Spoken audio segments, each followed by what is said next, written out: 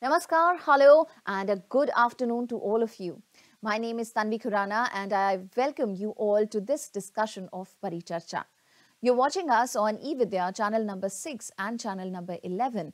And uh, let me introduce this entire discussion of Paricharcha to all of you. Well, Paricharcha is a series of mental well-being and is a live phone-in interactive program. That means you can get in touch with us and raise your questions.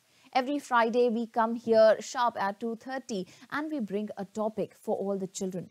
Our today's topic is mental and physical health, significance for examinations. Well, we all know that the board examination um, is out. They are going to happen in March and the date sheet is out for all the children. So every child is preparing at this moment for their exams. But their mental health and their physical health is equally important. So for that, we have this discussion where we have uh, panel members and they'll be talking about this topic in detail to all of you. They'll be sharing some advice, some tips, some techniques, and uh, a lot of advice for all of you. So if you have any questions, any queries, please reach out to us. You can simply go to our YouTube channel, which is NCERT Official, and in the live chat box, you can write down your questions, queries, and share them with us. Till 4 o'clock, our panel members are going to be with us, and uh, they'll be more than happy to answer all your queries, all your doubts. And uh, there are multiple mediums through which you can get in touch with us. The other medium is our toll free number, which is 844 844 0632. I repeat, it's 844 844 0632. At the moment, you're also watching us on our Facebook page, which is NCERT, that is National Council of Educational Research and Training. And uh, let me tell you about this entire initiative. This program Paricharcha is being initiated under Manodarpan, an initiative by the Ministry of Education, Government of India for providing psychosocial support to the students, to the teachers and uh, parents as well. And uh, like I said, we have panel members with us. So let me please introduce to you our panel members for today. Um, my first guest is Miss Kala Mohan. A very warm welcome to you, ma'am. Namaste. Namaskar, ma'am. Ma'am is a child psychologist and counselor from Bhopal. My next guest is Miss Gitika Solanki. A very warm welcome to you, ma'am. Good evening, everyone. Good evening to you too, ma'am. Ma'am is a practicing counselor from Bhopal. And uh, we have with us Miss Srishti Mishra. Welcome to our Namaste, program, ma'am. ma'am. Namaskar. Thank you so much. Thank you so much. Ma'am is an assistant professor from Regional Institute of Education, NCRT, Bhopal. And we have with us Dr. Shweta Bhardwaj. Welcome to our program, ma'am. Namaskar. Namaskar. Ma'am is an assistant professor from Government Girls PG College, Lucknow. And last but not at all the least, we have with us Dr. Kalpana Maski. A very warm welcome to you, ma'am. So, ma'am is an assistant professor from Regional Institute of Education, NCRT, Bhopal. So, we have five guests with us, and they'll be talking about the physical and mental health significance for examinations. But before we begin this program, I have a very important announcement to make, and that is regarding the India's G20 presidency. Well, we are extremely proud that uh, India assumed G20 presidency and will convene the G20 Leaders Summit for the first time in the country this year, that is 2023. A nation deeply committed to democracy and multilateralism, India's G20 presidency would be a watershed moment in her history as it seeks to play an important role by finding pragmatic global solutions for the well-being of all, and in doing so, manifest its true spirit of Vasudhaiva Kutumbakam, or should I say, the world is one family. With this, let's begin our conversation on our topic, which is for today, that is physical and mental health um, significance for examinations. So my first guest would be Miss Kala Mohan, and I would like to um, request her to, ma'am, please introduce this topic a little bit. And uh, also, we would like to know that uh, the significance or importance of uh, physical and mental health these two things are they related to each other do they affect each other and uh, how to handle it how to manage it any advice any tips any um, techniques or strategies you have uh, uh, for our children here ma'am Thank you very much for that lovely question. And I personally feel that it is related to each other because a physical and mental health when we say that is what your mind says your body does जो आपका दिमाग कहता है आप वैसे ही करते हैं आप अभी right now if I think कि मुझे सिर दुख रहा है I'll start feeling that my head is started aching. That's the very close connect between our body and uh, mind. So these are really connected to each other. And as far as the examination is concerned, right now what I feel all the students are already appeared for their practical examination. They had they did well, they did well, and they have the roll numbers with them. So preparedness is already started. फिर भी कई बार ऐसा होता है कि कई बच्चे इंतज़ार भी कर रहे होते हैं कि अभी मेरी तैयारी पूरी नहीं है। To get this call phone calls भी आते हैं कि हमारी तैयारी नहीं है। तो अब तैयारी किसको कराना है? तैयारी कराना है पहले पूरे ये वाले माइंड को, हमारी थॉट को। What are my thought process मैं क्या सोच रही हूँ? ओ this examination is yet another examination of my life anyways i've appeared for so many examination. You know right from my birth people have started examining me assessing me telling me i'm this i'm that.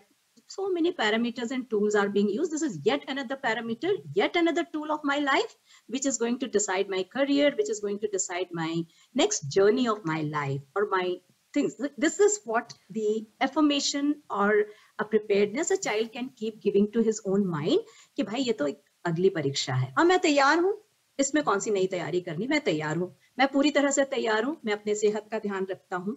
मैं समय से सोकर उठता हूँ, समय का बहुत ध्यान रखता हूँ और मैं इस परीक्षा के लिए तैयार हूँ।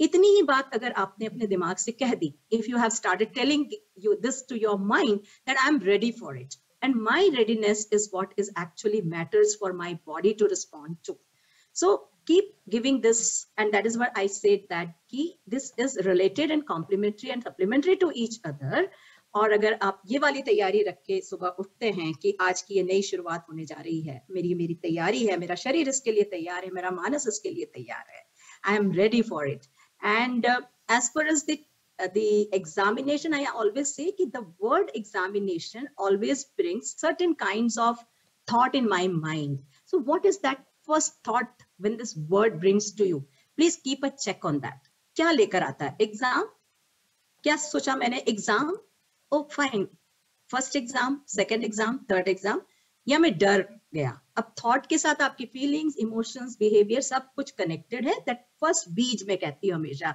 कि हर शब्द अपना एक बीज लेकर आता है। तो उस बीज ने आपको क्या दिया?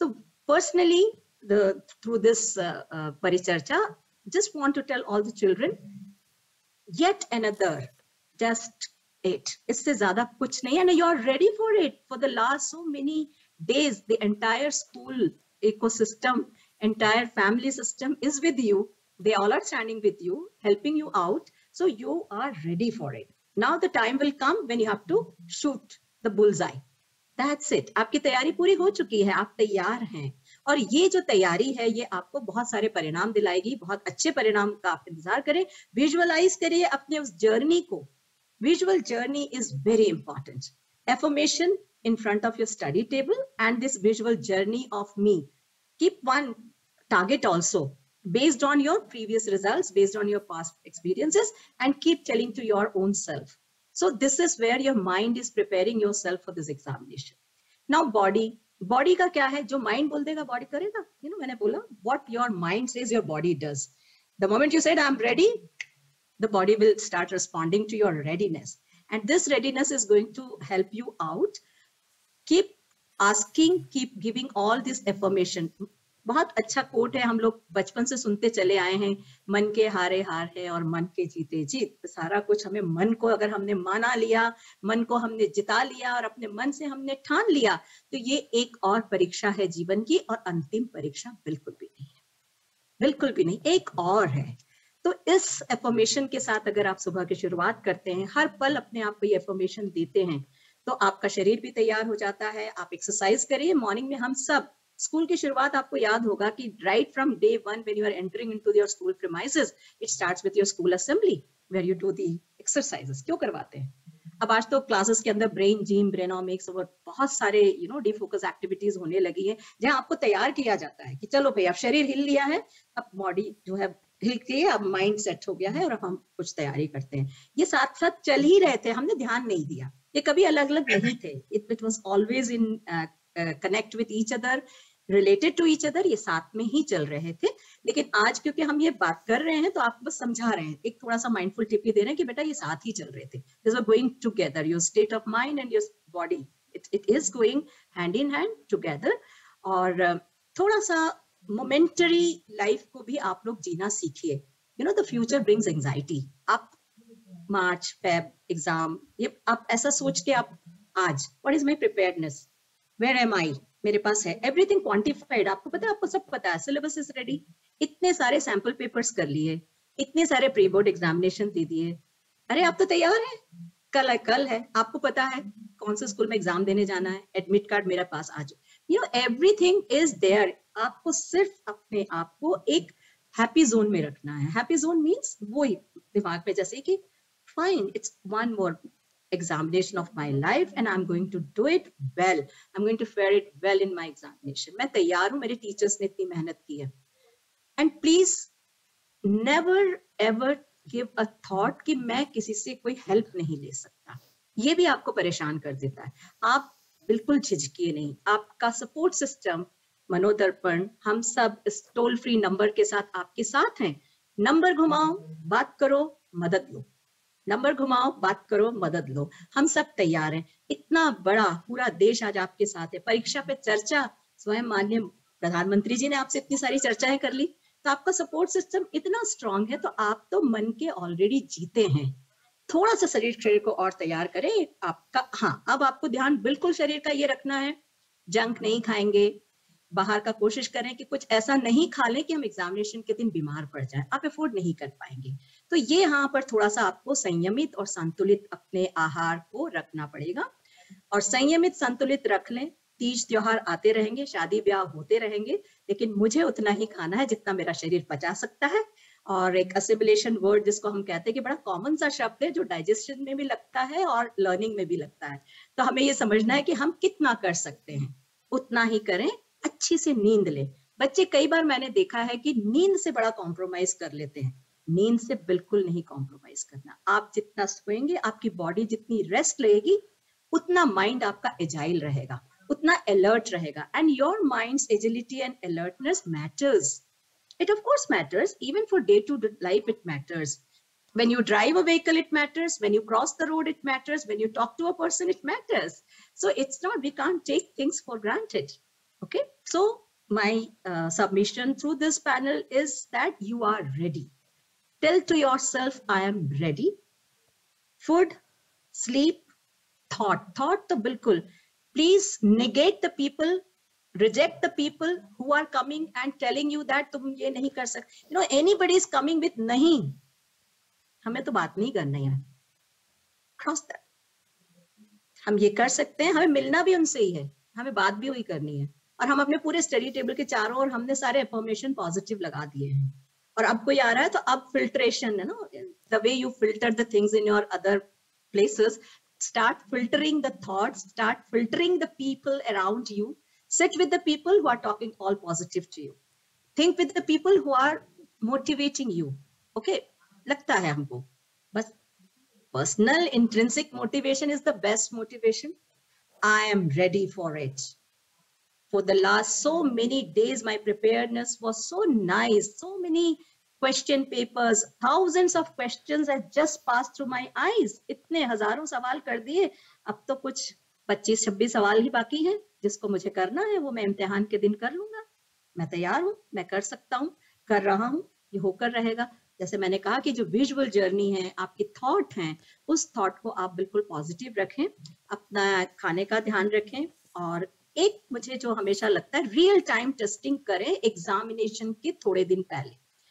क्यों करें real time testing and what is real time testing real time testing it your examination time is 10:30 to 1:30 so अब जो आप मॉक टेस्ट करते हैं या आप कोई सैंपल पेपर लेते हैं तो climatic condition in this country is varied across you know हमारे सबके अलग अलग क्लाइमेटिक कंडीशन है। टाइम जोन भी कई बार थोड़ा सा चेंज होता है। आपके टाइम जोन में आप 10:30 टू 1:30 में कैसे अपनी पोजीशन लेते हैं?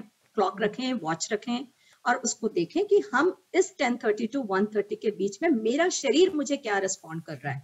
ऐसा तो नहीं है बायोलॉजिकल क्लॉक को मैंने नींद की आदत डाली है प्री बोर्ड खत्म हो गए प्रैक्टिकल्स हो गए, घर स्कूल में छुट्टियाँ हो गई तो मैं दिन में सो ही जाता हूँ। तो ऐसा तो नहीं ऐसी कोई आदत मैंने डाल ली हो। तो ये बहुत सिंपल सिंपल से टिप्स हैं, जिसको मुझे लगता है आप लोग कर भी रहे हैं। आपके स्कूल से भी बहुत सारी बातें आपको बताई भी जा रही है। मैं अपनी छोटी छोटी सी बात बताती हूँ। पानी बहुत डिहाइड्रेट नहीं होना, हमें बॉडी को हाइड्रेटेड रखिए। ऑक्सीजन का सारा सोर्स हमारे पास पानी भी होता है। तो हम अपने आप के जो हमारे जो ब्रीदिंग का जो पैटर्न है, वो बहुत मैटर करता है। आप पानी ज़रूर पिए, बड़ा न्यूट्रिशियस लंच लें जंक बिल्कुल अवॉइड करें पीस मील लें।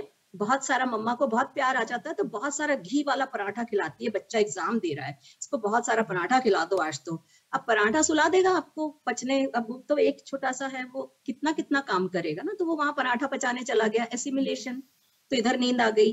सो आई थिंक हम ऐसे भी अपने पेरेंट्स को भी कह सकते हैं कि यू you नो know, मुझे अभी न्यूट्रिशियस डाइट चाहिए। For next few days till my last exam is there I am going to be on proper nutritious diet piece meal में लूँगा और मेडिटेशन करेंगे साउंड स्लीप लेंगे।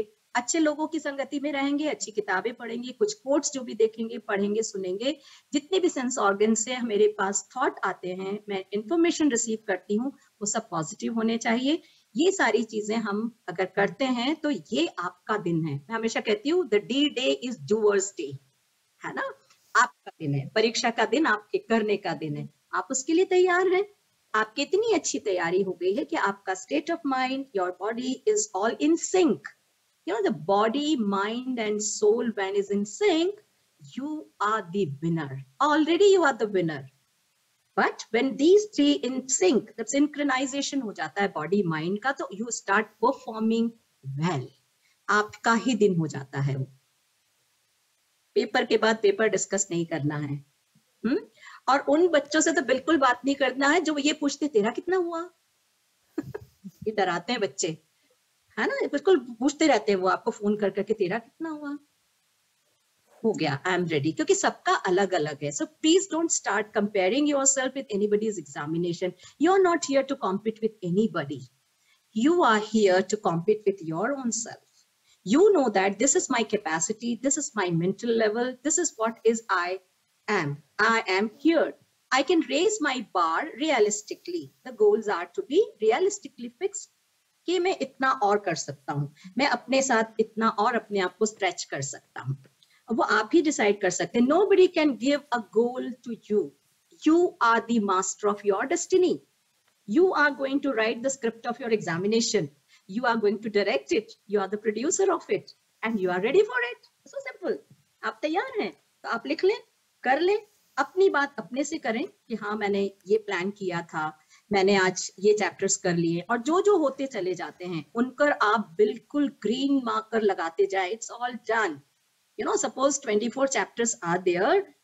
I, today i'm done with 14 15 all green. This green give you a positive vibration. सामने रख के देखो कि केमिस्ट्री के चैप्टर में ये ग्रीन है, ये येलो है।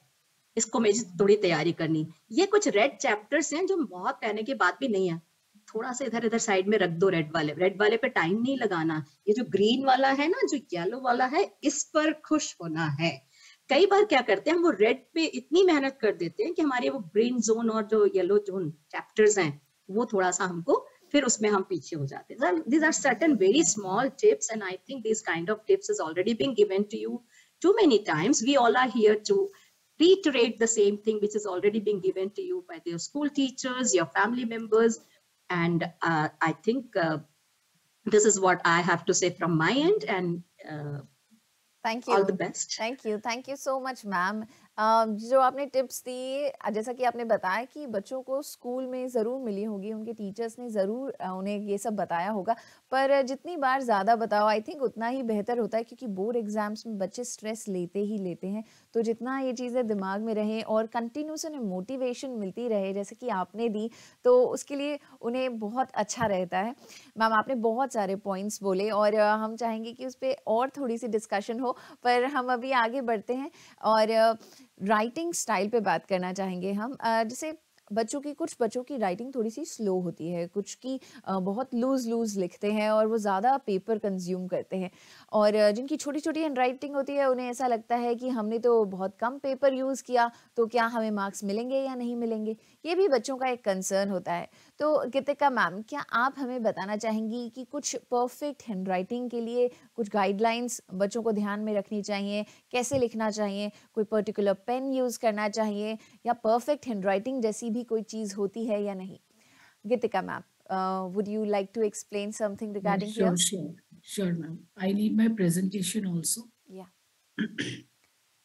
uh, good evening to everyone. Uh, regarding how to develop answer presentation skills for the examinations, there are certain tips to be followed. Handwriting की जहाँ तक की बात है, everyone has their own style and genuine character formations, letter formation style. Spacing is one of the most important feature to be followed. कि हम जब बच्चे एग्ज़ाम्स में लिखते हैं तो they are not able to maintain the proper speed from the beginning itself तो सबसे बड़ी सलाह या एडवाइस ये होगी कि they are all suppose to maintain the proper speed from the beginning itself होता क्या है, जब शुरू में पैशनेट होते हैं आंसर लिखना शुरू करते हैं तो बहुत अच्छे से लिखते हैं, अक्षरों को जमा जमा के बहुत अच्छे फॉर्मेशन होते हैं, बहुत अच्छी स्पेसिंग होती है ब्यूटीफुल हैंड राइटिंग होती है, लेकिन इसके बाद क्या होता है कि जैसे जैसे टाइम गुजरता जाता है and they are not able to manage the time और द टाइम टारगेट तो उनकी हैंड राइटिंग लूज होती जाती है। तो उसके लिए सबसे अच्छा ख्याल ये रखें कि आप एग्ज़ाम लिखने से पहले स्क्रिबलिंग के बारे में आप सोचें कि स्क्रिबलिंग नहीं होना चाहिए। फ़र्स्ट पेपर, जो फ़र्स्ट पेज है आंसर शीट का the first tip is from my side reading all the question is very mandatory ये समझना होगा कि क्वेश्चन का नेचर क्या है? What is the actual nature of the question question में पूछा कुछ जा रहा होता है और कभी कभी एंग्जाइटी इतनी ज़्यादा होती है बच्चों में कि वो उसका उस तरह से अंडरस्टैंड नहीं कर पाते हैं मतलब। लिखते कुछ और, पूछा कुछ जाता है, लिख कुछ और लेते हैं। तो they are suppose to focus on the main part of the question and then on the sub part of the question वही लिखें जितना पूछा जा रहा है। Don't write excessive This is the first step by my side. And the second one is legible handwriting is the key of uh, enhancing or the getting the good marks. आपकी जो answer sheet है उसकी margin दोनों तरफ़ से fold होने चाहिए। And don't waste your precious time by marking the margin on the each page ये सबसे इंपॉर्टेंट टिप है। सबसे अच्छा क्लियर जो बात होती है कि आपके जो पेपर है उनकी जो आंसर शीट की margin should be folded by both the sides equal sides and proper spacing is the key. Connected letter formation is the second key for the legible handwriting because more the writing handwriting will be the legible, more marks you will be get. Then the third tip I'm going to share regarding the plan structure. जैसा कि कला ma'am ने अभी बताया कि each one has to visualize the plan. So you will have to, the student has to structurize the plan of the answer. Before start writing the answer सबसे पहले आप ये विजुअलाइज करें कि आपसे जो क्वेश्चन पूछा जा रहा है कि उसका एक फॉर्मेट कैसा होगा। वो फ्रेम आपके दिमाग में पहले से अंदर होना चाहिए। तो visualise the perfect frame of the answer for example एक छोटा सा एग्ज़ाम्पल है कि अगर हम ऐसे लिखने जा रहे हैं तो सबसे पहले आप you will have to introduce your topic then afterwards under the second step, you will elaborate the topic. Then you will compare the topic with the help of so many variety of examples. Then after the critical evaluation, you will finally conclude your topic. So that should be the proper steps to be followed for answer writing. Then the fourth one is simple language has to be followed. कई बार uh, हमें बच्चों को ये doubt हो जाता है कि if we will use the complex vocabulary, हम बहुत स्टैंडर्ड के इंग्लिश शब्द, यानी ऐसे वाले इंग्लिश शब्द जो हमारे इन्विलिगेटर या जो आपका एग्जामिनर है, वो ही खुद कॉपी चेक करते हुए ना समझ जाए। अगर हम वो यूज़ करेंगे तो might be we will get the good marks और the more marks but it's not like that at all तो avoid complex and very tough vocabulary while writing your answers in the exam. Avoid excessive writing and limit your answers up to the word limit. Five marks के लिए जितने word limit पूछे जा रहे हैं, हमेशा उस वर्ड लिमिट का ख्याल रखें। Don't write everything you know कई बार होता है कि बच्चा ये शोकेस करना चाहता है कि मैं अगर बहुत ज़्यादा जानता हूँ तो why not to showcase it while my answer writing but it's not necessary so avoid that and just after finish your paper हमेशा ये हैबिट बनाइए। जब आप मॉक जैसे कि मैम ने बोला कि मॉक एग्ज़ाम अगर आप मॉक टेस्ट करते हैं टाइमर लगा के always don't forget to review your answer just after finishing it review हमेशा करना चाहिए कि कुछ छूट तो नहीं रहा है। Then the fifth one is choose question wisely if there are coming twenty five question in overall in your exam and just decide which is the best one you know start from that only तो pick questions very wisely and try to attempt all the questions ऐसा नहीं हो सकता कि अगर आपने syllabus को साल भर एक बार भी गो थ्रू किया है तो सारी चीज़ें आपसे ना बने। और अगर कभी ऐसा हो भी जाता है तो don't lose your confidence at all जितना आपको जैसा बन सकता है, आप उसको रिलेटेड तो लिख ही सकते हैं। रिलेवेंट मैटर तो हम उसमें डाल ही सकते हैं। तो these were the few guidelines to be followed कि लास्ट मोमेंट पे आप हमेशा स्पीड को अगर शुरू से मेंटेन करते हुए चलेंगे तो ये चीज़ें आगे तक बनी रहेंगी। And that is the most important feature कि use graphics for getting more marks हमेशा से मेरी खुद की ये पर्सनलाइज आदत रही है कि जब भी आप स्टेप वाइज किसी आंसर को कोट करते हैं तो try to put any of the flow chart any of the graphics mind map visual maps और any of the diagram related to your question और द आंसर ये चीज़ें वो हैं जो आपके आंसर राइटिंग को और आपके फ्रेम को, आपके स्ट्रक्चर को बिल्कुल दूसरों से अलग बनाएँगे। तो ये सारे जो ग्राफिक्स हैं, ये आपके आंसर का स्टाइल बिल्कुल डिफरेंट बनाएँगे। So these are deadlines and these are the guidelines and the seventh one which is the last one that take care of the neatness होता क्या है, पहले पेज पे तो हम नीटनेस का ख्याल रखते हैं, लेकिन धीरे धीरे धीरे धीरे, जैसे जैसे मैंने पहले भी बताया था टाइम गुजरता जाता है और हम स्क्रिबल करना शुरू करते हैं। टाइम के प्रेशर को हम टाइम प्रेशर होने के साथ साथ हम स्ट्राइकिंग शुरू कर देते हैं। एक चीज़ को काट दिया, फिर उस आंसर को दूसरी जगह लिख दिया, ऐसा अक्सर होता है। और यही रीजन है कि स्पेलिंग मिस्टेक्स बहुत ज़्यादा होती है। ट्राई टू अवॉइड ओवर शांति से लिखें काम होके लिखें रिलैक्स होके लिखें और गलतियों को अवॉइड करने की कोशिश करें।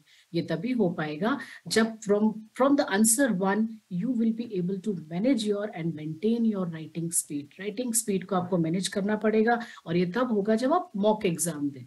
टाइमर लगा के go for the test and the trial exam So are the guidelines which are very, which will be very, very beneficial for you ki how to develop effective answer writing during exams. Handwriting, letter formation, neatness, and everything.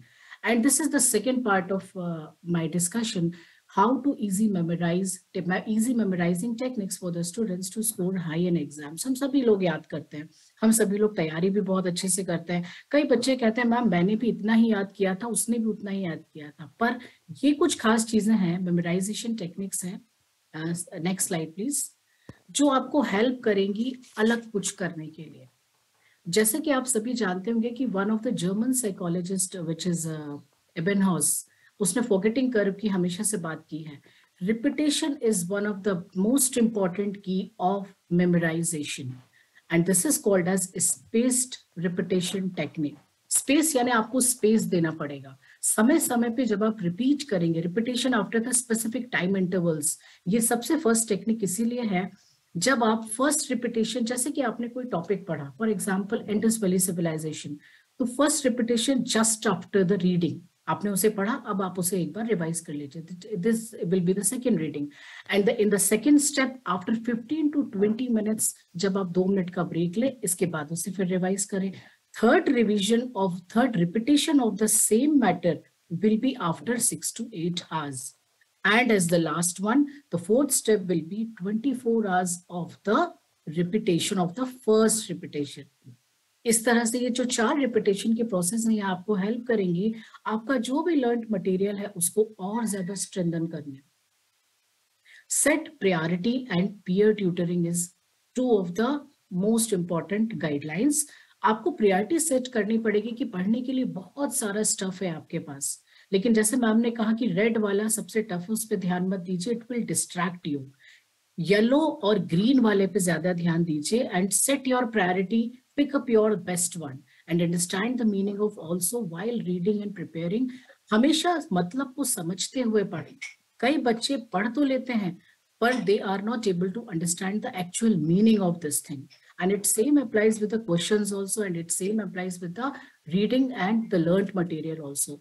और जो भी आपने पढ़ लिया है, जो भी तैयार कर लिया है, जो याद कर लिया है, कोशिश कीजिए कि अपने फ्रेंड को, अपनी मम्मी को, अपने भाई को या बहन को आप tutor as a peer tutoring इसको कहते हैं कि उनको एक्सप्लेन कर दें।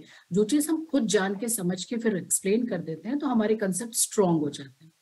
Third technique is mat and the inter connection ये बहुत फ़ेमस टेक्निक है। अक्सर साइकोलॉजी की फ़ील्ड में सभी लोग इसे जानते हैं। It is called as memory association technique you will have to associate your difficult things with the easiest one. You will have to make a connections of your current knowledge to the previous knowledge. आप जो पहले जानते हैं और जो अभी जानते हैं उन दोनों नॉलेज को कनेक्ट कर दीजिए association will make your will make your learning more easier association works a lot कोई भी चीज़ जो आपको याद नहीं हो रही, उसे किसी फ़ेमस इंसिडेंट से एसोसिएट कर दीजिए, उसे लिंक कर दीजिए। कनेक्टिविटी जितनी अच्छी होगी, आपके प्रीवियस नॉलेज की, आपके करेंट नॉलेज से, उतना अच्छा आप याद रख पाएँगे। And the third is chunking chunking का मतलब होता है इंग्लिश में जब हम सिलेबल्स पढ़ते हैं, जब हम बच्चों को स्पेलिंग्स याद करना सिखाते हैं तो हम हमेशा कहते हैं, बेटा, तोड़ के ब्रेक करके लंबी स्पेलिंग्स को करो। जैसे for to break all the learn material into the small parts and small parts are called as chunks for example this is a phone number तो मैंने उसको चंक कर दिया है कि two double three then two three four and then six seven zero इसके बाद जो नेक्स्ट स्टेप है कि after making these small parts of chunks the student has to organize the entire learn material जितना भी मटेरियल आपका prepared है, जैसे विजुअलाइजेशन भी यहाँ काम करता है। आप अपने ब्रेन में एक विजुअल इमेज फ्रेम कर लें, एक फ्रेम्स बना लें अलग अलग कैटेगरीज में। यहाँ पर इंडस वैली सिविलाइजेशन का फ्रेम है और यहाँ पे मुगल एम्पायर का फ्रेम है। तो मुझे अपने फ्रेम में ही चीज़ों को याद रखना है। Read aloud is also the technique of the memorization visualization is the most powerful technique visualize कीजिए and create your own history own stories history इसलिए निकला मेरे मुँह से क्योंकि history is one of the subject बच्चे कहते हैं लॉन्ग आंसर उन्हें याद नहीं होते। लॉन्ग आंसर का टेक्निक ये होता है कि you will have to the entire incident the war and you will have to create your own stories for example long answers में रीड अलाउड टेक्निक बहुत मदद करती है फिंगर टिप टेक्निक बहुत मदद करती है। आप फिंगर रख के पढ़ें अपने लॉन्ग आंसर्स और विजुअलाइज करते जाएँ। साइलेंट रीडिंग की कंपैरिजन में रीड अलाउड इसीलिए ज़्यादा हेल्प करती है because this is the blend of three senses more the senses involve V A K T approach हम सब जानते हैं more the senses will be involve during the learning process more you will be able to memorize better visual auditory verbal तीन senses यहाँ पे involve हो रहे हैं. That's why try to go for the aloud reading when you are preparing for your final exams So these are the five tips and these are the five memory techniques from my side. And आप सभी लोग इस memory technique में से जो best suitable लगता है, you can go through for that. All right, thank you. Thank you so much, ma'am. Uh, writing guidelines के लिए भी और memorizing tips के लिए भी. I'm sure the students uh, have noted all these points and they are going to make sure that uh, they use all these tips and uh, they are going to get uh, good marks in their examination. Thank you. Thank you so much, ma'am. We're moving forward with uh, more questions to uh, other panel members. And uh, हम सभी को पता है कि examination बच्चों को कहीं ना कहीं स्ट्रेस देते हैं कहीं ना कहीं प्रेशर में रखते हैं और उन्हें एंग्जाइटी भी हो जाती है। इसीलिए आई थिंक बीच में ऐसा भी था कि एग्जामिनेशन नहीं होने चाहिए ग्रेडिंग सिस्टम होना चाहिए। uh, पर एग्जामिनेशन है बच्चे एग्ज़ाम्स के लिए प्रिपेयर कर रहे हैं। सो so, एग्ज़ाम्स क्या सच में एक प्रेशर और स्ट्रेस का सोर्स हैं? अगर हाँ तो ऐसे कुछ टेक्निक्स कुछ स्ट्रैटेजीज uh, क्या सृष्टि मैम आप हमें बता सकते हैं so that the students can deal with that pressure and just take the stress out of their brains and just go smoothly as much as they can in their examination ma'am Thanks a lot, ma'am. Uh, so today when board exams are fast approaching, students are often seen having high levels of anxiety. So they are under the immense pressure because of these heavyweight words, board examination. Though I feel that uh, a small degree of pressure is vital as it keeps you on your toes and prevents the habit of procrastination. However, beyond limit, if this, pre this pressure can affect the well-being of an individual. Uh, so in this session, what we are trying to learn is a few strategies that can help you cope up with the stress and the pressure associated with the exams. Ma'am, uh, may I have my slides, please? Yes. Uh, yeah. Uh, the second one. Thanks a lot. So uh, examination stress. Students are often found overburdening themselves under the pressure of getting good marks and good grades. They consider that uh, it's more larger than life. And in reality, uh, it's not so. These exams are just a part of the life, but they are an important part inevitably because of the fact that they give us an opportunity to learn and a disciplined way uh, to achieve the goals. Uh, and second is a second point would be the competition.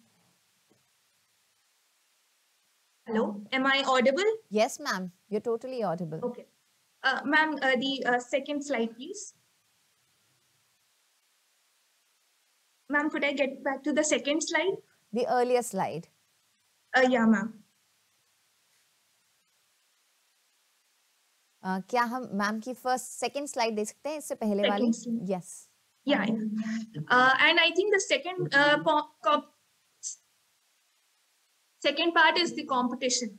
Uh, that is going to, as long as it is taken in the good spirits. Uh, excuse me, ma'am. Just a, okay uh, so as we can uh, see, yeah Uh, yes, ma'am, I'm back. Uh, competition, as long as it's taken in the good spirit, uh, it helps ones to sharpen their skill sets. But as we all know that excess of anything is bad. Likewise, the case here also. So uh, when when one gets over competitive, what takes a back seat essentially is the learning and the uh, understanding of the curricula. So I think that shouldn't be the case. So uh, next slide, please, ma'am. So now the question is, who is your biggest competition? Is it uh, is it your best friend or is it your uh, benchmate? Who is it? कौन है वो शख्सियत जो आपके सबसे बड़े competition है? तो एक बार यदि हम दर्पण में अपना प्रतिबिंब देखेंगे तो आई थिंक हमें सभी प्रश्नों के उत्तर स्वतः मिल जाएँगे। Yes we are self are are biggest competition so what we have to do here is try to be better than what we what we were yesterday and once you once you kind of get this fact it's very easy to improve your own self uh, I think a better strategy to do this is the SWOT analysis, where you talk about the strengths, weaknesses, opportunities, and threats. And this way, you can also uh, talk about your topics in uh, in this fashion and align your preparations accordingly. Uh, Ma'am, may I have the next slide? Yes. So here are a few tips that I would like to share uh, in order to unload the students from the pressure of examination.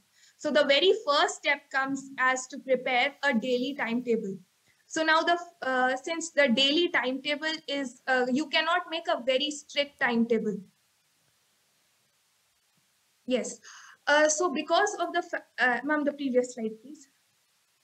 The daily comes with a caution here that you have to allocate sufficient time for your sleep and for the recreation purposes because uh, once you're going to allocate uh, sufficient amount of time for these activities your mind is going to be refreshed and the level of tiredness would be less.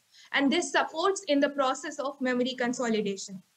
Uh, the second step here can be when uh, when are making any daily timetables there can be some unplanned assignments that uh, because of which the timetables targets might not be achieved. So ideally in that in those uh, situations one should not panic they should uh, simply amend and just adapt to the modified changes then uh, in order to revise i think the concept maps can be of great help because in a way they kind of summarize the information, the important points, and they are very helpful for the last moment revision. And uh, discussions uh, of, with teachers and classmates are always beneficial because you always get to know something new, a new perspective on a particular topic. Uh, may I have my next slide, please? So now these are a few more ways with which you can uh, deal with the examination stress. One is about summarizing, like we discussed in the previous slide about concept maps. When you're reading any chapter or any topic, just on a single sheet of paper, you can note down the important points. And this definitely helps in revision at the last moment. Then comes the practicing uh, of time-bound tests. As Madam has already mentioned the importance of tests. But uh, here again, it comes with a caution. The tests have to be done in a time-bound fashion and evaluation is essential for them because uh, simply just writing a test without a clock or without the evaluation or assessing is not going to do you any good so it's always better that you can get your answers evaluated if you uh, if a teacher can do that. Or i think self evaluation is also very helpful because when you're self evaluating you won't give yourself any loose ends because you want to um, uh, don't uh, you know uh, mistrust your, yourself. So it's okay if you are getting wrong answers because that's what the learning purpose is. You can always go back and revisit those topics and that by that way you can build upon the foundation and prepare yourself for the D-Days and uh, technology as we all know is a great boon if utilized in the optimal fashion. So i think it can help you cope up with the difficult topics uh, to get understand them in a lucid manner. Uh, ma'am next slide. Sum it up i'll say that set small achievable targets and do not disturb your circadian rhythm maintain a balance between the work and the sleep and some try some uh, daily routine practices like exercise uh, light exercise yoga and some recreational purposes. But that doesn't mean that one gets into some adventurous activities. But yeah some light exercises are always good. Uh, trying hobbies for recreation always increases our focus levels. Uh, having a, a supportive atmosphere at home and in school with teachers and peers also relieves one of the great amount of pressure that surmounts these students. The very idea of success should not actually be understood in terms of competition, but from a perspective of the overall idea of self-improvement. Later in life, when you're going to uh, go back to these years and uh, uh, fall back on these years and reflect back upon them, so you are going to realize that these exams were an important milestone in this journey of life and success is a multi-dimensional concept. So whenever you are entering your examination hall, have faith in your preparation, enter the examination hall with a smile. All the best and happy learning. Thank you, ma'am. Thank you. Thank you so much, ma'am. And uh, I'm sure uh, the students are going to be brave when they enter the exams and they will be all smiles when they enter the exam and even when they leave the examination hall ma'am, uh, certain points of yours uh, were so important and uh, I think uh, the students need to really take care of them, especially when you said that uh, use technology optimally and excess of technology is not good during the exam preparation time. And you also said that um, practice yoga and some exercise on daily basis. So um, these points, I think we need to talk more about these in detail. So I would request uh, Shweta ma'am to pitch in here. Ma'am, uh, as we all know that uh, uh no matter what, uh, students end up taking stress during their exam preparation and uh, that is not healthy at all that affects their mental health, that affects their physical health. So, uh, do you think that uh, either yoga or meditation or some exercise and even uh, not just uh, teacher support but uh, parental support is also helpful here? Uh, they can do better if they practice these exercises or this sort of thing. Shweta ma'am. Thank you, ma'am. this is a very pertinent question. Yes I do believe कि meditation और parental support ये बहुत important है एक student के life में। उसके जो भी स्ट्रेस है नॉट ओनली एग्जामिनेशन स्ट्रेस अभी हम यहाँ पर क्योंकि बच्चों के एग्ज़ाम्स आ रहे हैं और बच्चे उसको लेके स्ट्रेस आउट हैं, उस पर बात कर रहे हैं, बल्कि उनके लाइफ के जो भी स्ट्रेस है, उसमें ये बहुत ज़्यादा हेल्पफुल है। और जैसा हम जानते हैं a healthy mind resides in a healthy body और जब भी हम स्ट्रेस्ड आउट होते हैं तो ना सिर्फ़ हमारी फ़िज़िकल हेल्थ बल्कि हमारी मेंटल हेल्थ भी इफ़ेक्ट होती है, जिससे हमारा जो भी परफॉर्मेंस है, हम उस परफॉर्मेंस को उतने अच्छे से नहीं कर पाते और हमारे रिजल्ट्स जो हैं, वो इफ़ेक्ट होते हैं और उससे हम पूरा जो है डिस्टर्ब हो जाते हैं। और ये स्ट्रेस क्या है बेसिकली स्ट्रेस जो हमारी लाइफ की जो डिमांडिंग सिचुएशंस हैं, उसको लेकर जो हमारे बॉडी में साइकोलॉजिकल और फ़िज़िकल जो रेस्पॉन्सेज होते हैं उसी को हम जो है स्ट्रेस कहते हैं। और जैसा अभी सृष्टि मैम ने बताया कि थोड़ा स्ट्रेस लाइफ के लिए ज़रूरी है। विदाउट स्ट्रेस हम किसी भी काम को बहुत अच्छे से नहीं कर पाएँगे। तो स्ट्रेस अगर एक लिमिटेड लेवल में है लो लेवल में है तो वो हमारे परफॉर्मेंस के लिए बहुत ज़रूरी है। क्योंकि जब थोड़ा स्ट्रेस होगा, तभी हम अपना बेस्ट जो है कोशिश करेंगे, हम बेस्ट परफॉर्म करने की कोशिश करते हैं। लेकिन कभी कभी क्या होता है कि बच्चों में ये स्ट्रेस ज़्यादा होता है और लंबे समय तक अगर हम स्ट्रेस्ड आउट हैं, तब ये हमारे फ़िज़िकल हेल्थ और मेंटल हेल्थ पर ये एक नेगेटिव इम्पैक्ट करते हैं और तब हमको इनसे बचने के तरीके जो हैं उन पर सोचने की ज़रूरत पड़ती है। चाहे हम मेडिटेशन से करें, चाहे हम बातचीत अपने सिर्फ़ प्रॉब्लम्स को डिस्कस कर लेने से ही भी हमारी बहुत सारी प्रॉब्लम्स जो हैं वो सॉर्ट आउट हो जाती हैं और ये डिस्कशन हम किससे कर सकते हैं? हम अपने घर में अपने पेरेंट्स से कर सकते हैं। अपने पीयर्स से कर सकते हैं या अपने टीचर्स से भी कर सकते हैं, अपने फ्रेंड्स से कर सकते हैं। और ये जो एग्ज़ाम्स जैसा हम कह रहे हैं कि एग्ज़ाम्स का नाम सुन, सुनते ही जो हमारे जो सबसे पहला हमारा रेस्पॉन्स होता है वो होता है स्ट्रेस तो ये स्ट्रेस एग्जामिनेशन को लेके पहले होता क्यों है? क्योंकि थोड़ा स्ट्रेस है वो तो नॉर्मल है, वो स्वाभाविक है उसका होना। लेकिन अगर स्ट्रेस ज़्यादा हो रहा है तो हमको पहले ये देखना पड़ेगा कि इसका रीजन क्या है? क्यों हम स्ट्रेस्ड आउट हो रहे हैं इस सिचुएशन में? तो उसका सबसे पहला रीजन ये है कि हमको कोई चीज़ समझने में प्रॉब्लम हो रही है। बच्चों, जो भी आपका कंटेंट है, किसी भी सब्जेक्ट का कंटेंट है तो वो उसका एक लॉजिकल सीक्वेंस होता है कि पहले आपको सिंपलर चीज़ें बताई जाती हैं, फिर उससे रिलेटेड कॉम्प्लेक्स चीज़ों को आगे पढ़ाया जाता है। तो कभी कभी क्या होता है कि हमको कुछ सिंपलर चीज़ें जो हैं वो समझ में नहीं आती हैं और उसको हम वहीं पर हम किसी को बताते भी नहीं है कि हमको ये चीज़ समझ में नहीं आई। तो जब ऐसा होता है तो नेचुरली जो है उस सब्जेक्ट में जो है पीछे रह जाते हैं, क्योंकि हमें आगे की चीज़ इसलिए नहीं समझ में आ रही कि हमको पीछे की चीज़ समझ में नहीं आई थी। हमको एडिशन समझ में नहीं आया था तो हम डिविजन कर ही नहीं सकते हैं। जब तक एडिशन के सारे कॉन्सेप्ट हमारे क्लियर नहीं होंगे या सब्सट्रैक्शन हमको नहीं आ रहा है तो हम डिविजन पाएँगे। तो ऐसा नहीं है कि हम डिवीज़न नहीं समझ पा रहे लेकिन हम क्यों लैग कर रहे हैं वहाँ पे? क्योंकि हमारे पीछे के कुछ कंसेप्ट थे जो हमारे क्लियर नहीं थे। तो सबसे पहले हमको यही चौकआउट करना है कि हमें ये जो स्ट्रेस हो रहा है ये क्यों हो रहा है? क्या इसका रीजन है? क्या हमको पढ़ने में प्रॉब्लम हो रही है? और अगर प्रॉब्लम हो रही है हमसे अच्छा कोई नहीं जान, जानता है कि हमें प्रॉब्लम क्यों हो रही है। तो हमें बस वो क्यों जो है अपने लिए ढूंढना है और जब हमें वो क्यों का हमें आंसर मिलता है तो हमको सपोर्ट के लिए ढूंढना है, चाहे हम अपने टीचर से पूछें, चाहे हम अपने पीयर से पूछें, या अपने पेरेंट्स से पूछें, या टेक्नोलॉजी का भी सहारा हम ले सकते हैं। आजकल तमाम जो है वीडियोस हैं जिसपे कॉन्सेप्ट्स को बहुत अच्छे से बताया जाता है तो हम वो भी कर सकते हैं, क्योंकि आज के बच्चों को टेक्नोलॉजी से दूर रख पाना बहुत ही मुश्किल है। कभी कभी क्या होता है बेटा, हम इसलिए भी स्ट्रेस्ड आउट होते हैं कि बहुत सारे सब्जेक्ट्स होते हैं, वो हमको पसंद ही नहीं होते हैं। अब वो पसंद हमें क्यों नहीं है? हो सकता है कि हमारे टीचर्स का जो पढ़ाने का तरीका है, हमको वो तरीका पसंद ना हो, या हमारे फ्रेंड्स को पसंद नहीं है।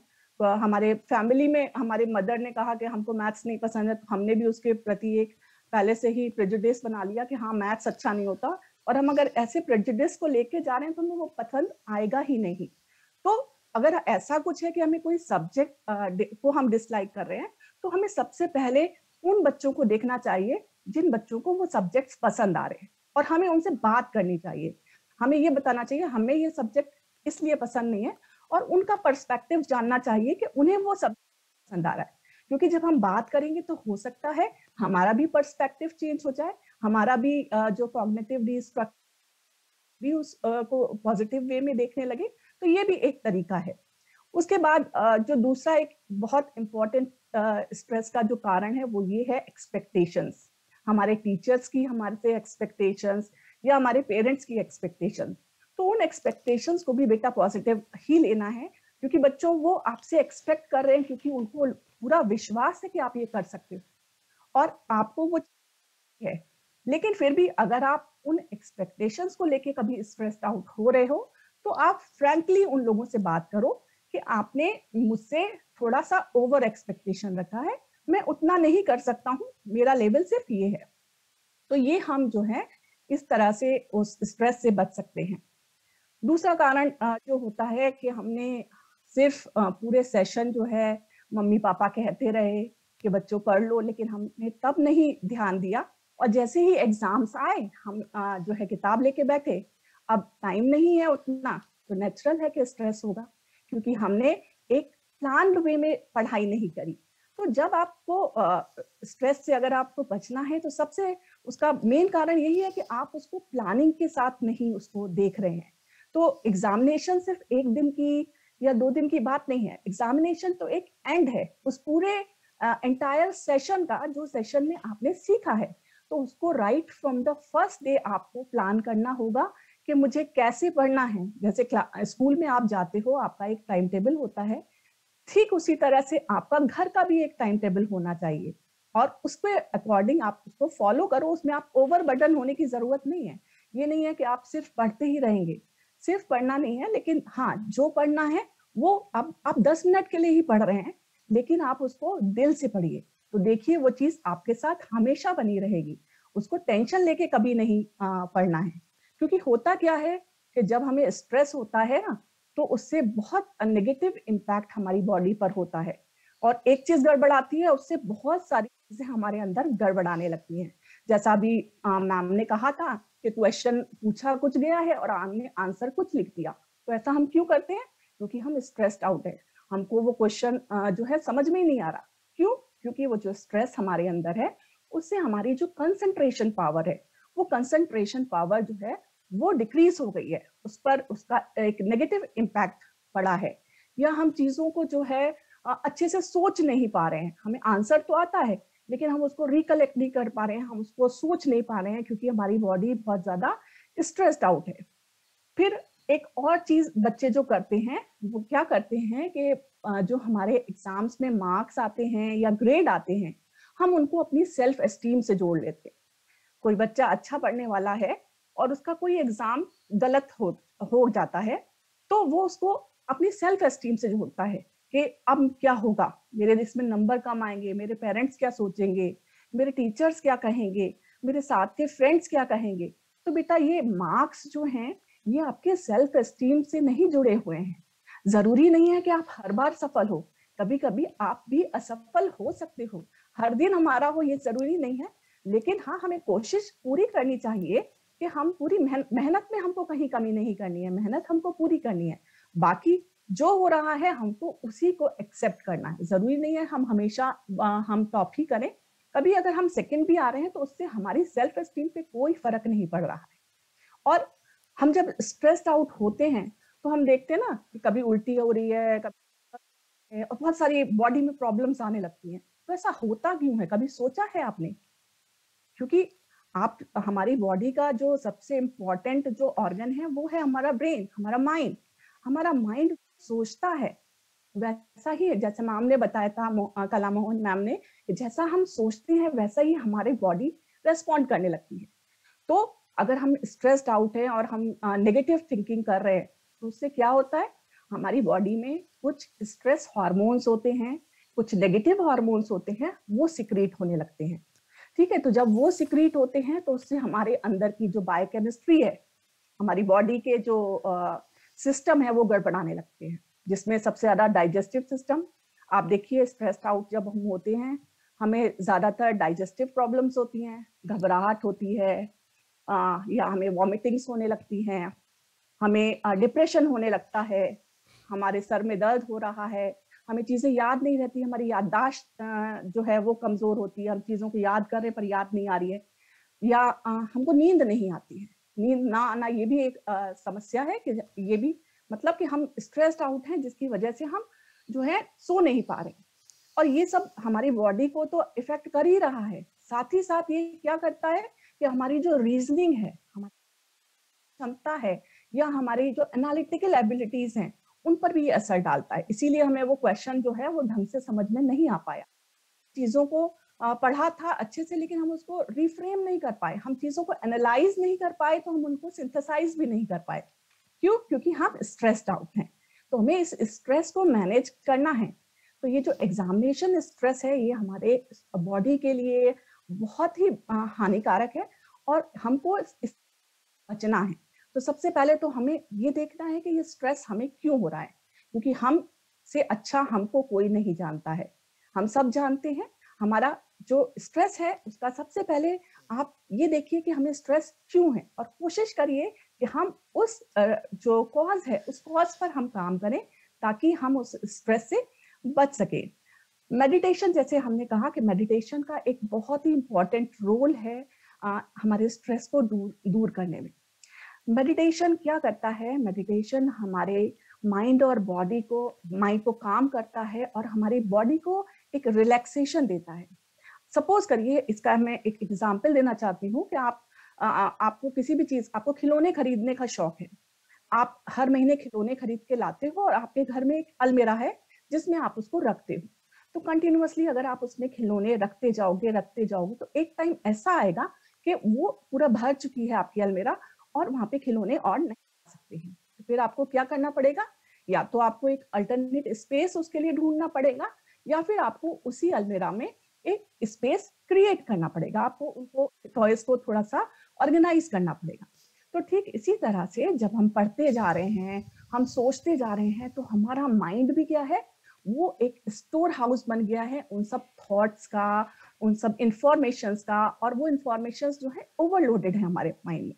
तो हमें टाइम चाहिए कि हम वहाँ पर उन इंफॉर्मेशन को ऑर्गेनाइज करें हम अपने माइंड में वो स्पेस क्रिएट करें कि हम जो नई चीज़ सीख रहे हैं वो चीज़ वहाँ पर अच्छे से ज़रूरत पड़े तो हम उसको रिट्रीव कर सकें। तो ये जो मेडिटेशन uh, है इसके ज़रिए जो हमने कहा था कि हमारी बॉडी में नेगेटिव हार्मोन्स स्ट्रेस ने तो क्रिएट कर दिए लेकिन बॉडी कैसे उसको बैलेंस करेगी? अगर हम मेडिटेट करते हैं तो मेडिटेशन से हमारी बॉडी उन नेगेटिव हार्मोन्स को हैप्पी हार्मोन्स से नलिफाई करती है। हमारी बॉडी में कुछ हैप्पी हार्मोन्स भी होते हैं, जो सिक्रेट होते हैं और उन नेगेटिव हार्मोन्स के जो इफ़ेक्ट है, उसको नलिफाई करते हैं, उसको खत्म करने में हमारी हेल्प करते हैं।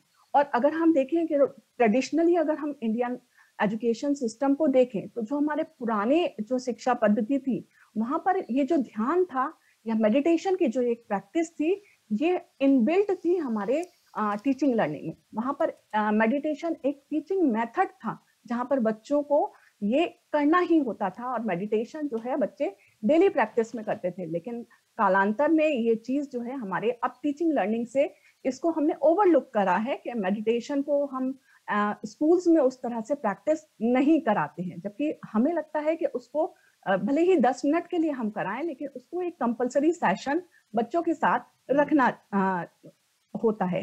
अब बात आती है कि मेडिटेशन को करना कैसे है? तो बेटा अगर आप ध्यान लगा के ध्यान को करोगे तो वो ध्यान भी काम बन जाएगा। तो ध्यान लगाना है लेकिन किस पर? ध्यान लगाने में कुछ उसमें सिर्फ़ आपको कुछ नहीं करना है। कुछ नहीं करना है वो बच्चों के लिए तो बहुत मुश्किल होता है। क्योंकि बच्चे ऐसा नहीं हो सकता कि कुछ ना करें, लेकिन फिर भी हम आपको कुछ टिप्स देते हैं, जिससे आप भले ही पाँच मिनट के लिए करेंगे, अगर आप पाँच मिनट के लिए भी कर रहे हैं तो आपकी बॉडी पर उसके पॉजिटिव इफेक्ट्स आएँगे और आप उनको फील कर पाएँगे। तो एक तो ये है कि मेडिटेशन कभी भी किया जा सकता है। ये नहीं है कि सुबह चार बजे उठ के ही मेडिटेशन होगा। आपको मेडिटेशन जब भी आप स्ट्रेस्ड आउट हो, आप फटीगनेस फील कर रहे हो, आप थके हुए फील कर रहे हो, आप पाँच दस मिनट का मेडिटेशन करो, आपको उसका रिलैक्सेशन इफेक्ट्स जो है, वो आपको देखने को मिलेंगे। मेडिटेशन के लिए जो सबसे ज़्यादा ज़रूरी है, वो आप जहाँ पे भी मेडिटेट करना चाहते हैं, बस चीज़ मेन ध्यान ये रखना है कि वो जगह कैसी हो, शांत हो। वहाँ पर कोई डिस्ट्रैक्शन ना हो, ताकि आप वो पाँच मिनट अपने लिए दे पाए। मेडिटेशन में आप क्या करते हैं बेटा? उसमें ना आप फ्यूचर के बारे में चिंता पास्ट के बारे में।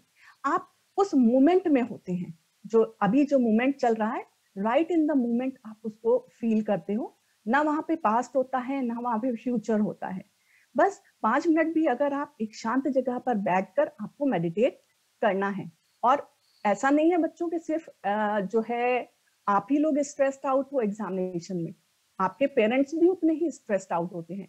हमारे भी बच्चे हैं, उनके एग्ज़ाम्स होते हैं तो हमको भी उनके साथ स्ट्रेस होता है कि बताइए मेरा बच्चा कैसे परफॉर्म करेगा। तो जब भी आप मेडिटेट करो आप अपने पेरेंट्स को भी आ, कहो कि आप भी हमारे साथ मेडिटेट करें क्योंकि वो भी काम रहेंगे आप भी काम रहोगे तो ये आपके लिए दोनों एक फैमिली इन्वायरमेंट काम बनेगा तो वो सबके लिए अच्छा होगा।